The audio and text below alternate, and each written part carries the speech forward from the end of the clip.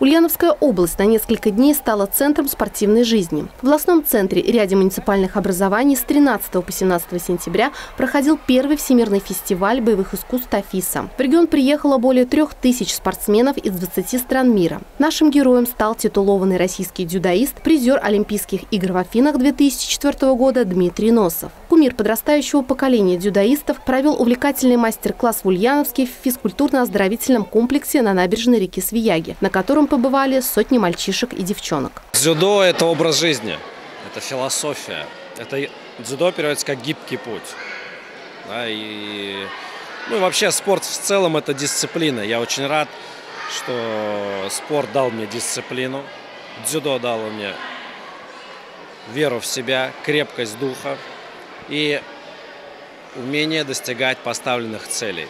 Со съемочной группой мировая звезда дзюдо поделился своей личной историей успеха и рассказал о жизни до и после Олимпиады. По словам Дмитрия, в дзюдо не сила решает исход поединка. Здесь нужно иметь острый ум, поскольку японское боевое искусство соединяет в себе самооборону без оружия и философию. Дзюдо – это что? Поддаться, чтобы победить.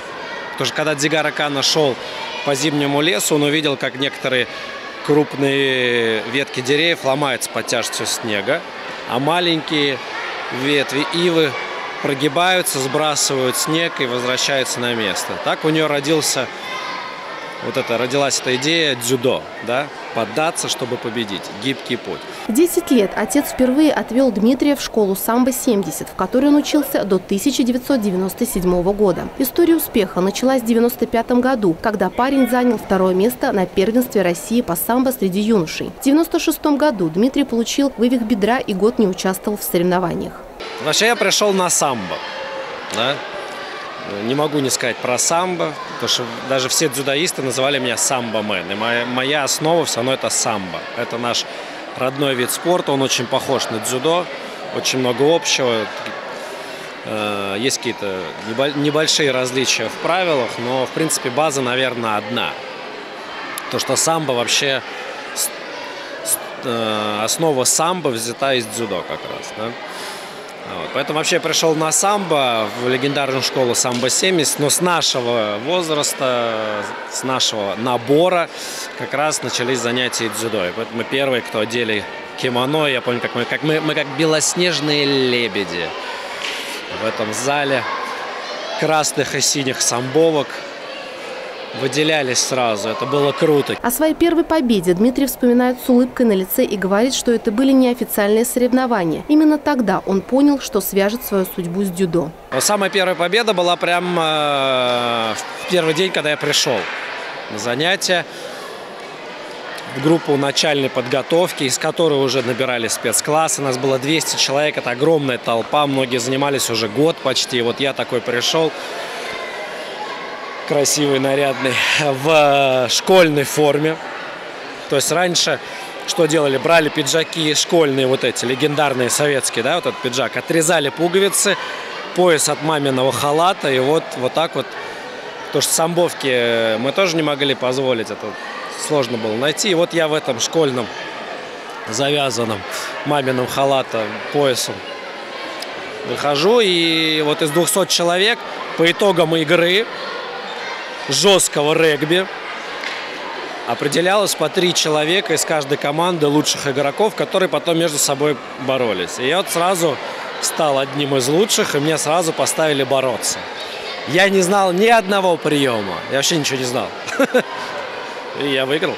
С 1997 года по 2006 год Дмитрий занимал призовые места и выигрывал первенство, суперкубки и чемпионаты России, Европы и мира по дзюдо и самбо. В 2003 году спортсмен окончил Российскую государственную академию физической культуры и спорта. Самым сложным в карьере спортсмена стал 2004 год. Именно в это время дзюдоист получил бронзовую медаль на Олимпийских играх в Афинах в категории до 81 килограмма. По ходу турнира атлет получил тяжелую травму руки, но проявив характер и мужество, отказался сниматься с турнира. Самые тяжелые соревнования – это Олимпийские игры. Почему? Во-первых, реально в дзюдо всего один человек, трехкратный олимпийский чемпион, мужчина, Намура, да? И то он, то есть три года То есть трехкратный олимпийский чемпион – это 8 лет период.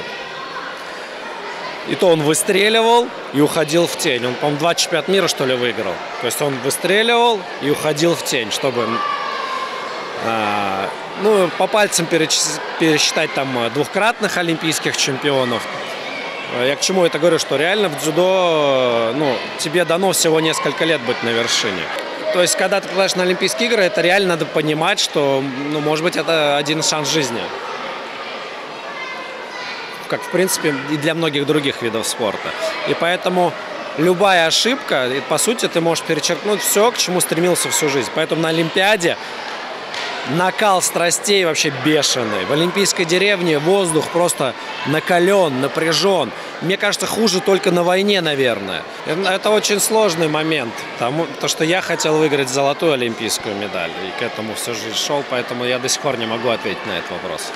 Жизнь после Олимпиады стала другой. К Дмитрию пришла мировая слава, узнаваемость на улице, и все закрутилось. Интервью, съемки теле- и радиопрограмм, телешоу, рекламных роликов. Но главная цель у спортсмена была одна – развить популярность дзюдо среди населения. Мною двигало желание сделать э, дзюдо интересным и популярным видом спорта.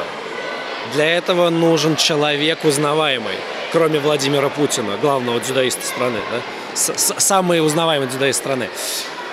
Поэтому нужно, чтобы, я прекрасно понимаю, всем это говорю, что ну, дзюдоисты должны быть в телевизоре. Иначе никак. И, собственно говоря, участвую во всяких проектах, в телевизионных шоу и так далее. В первую очередь мной двигала популяризация дзюдо, на втором месте был собственный бренд, скажем так. И, ну, то есть вот, что, поэтому я не отказывался, я работал над собой. И, конечно, жизнь стала совершенно другой. Ну, естественно, спорт не вечен, поэтому в 2006 году, когда уже там, я завязал со спортом, ну, спорт заканчивается, а шоу продолжается. И вот сегодня будет супершоу.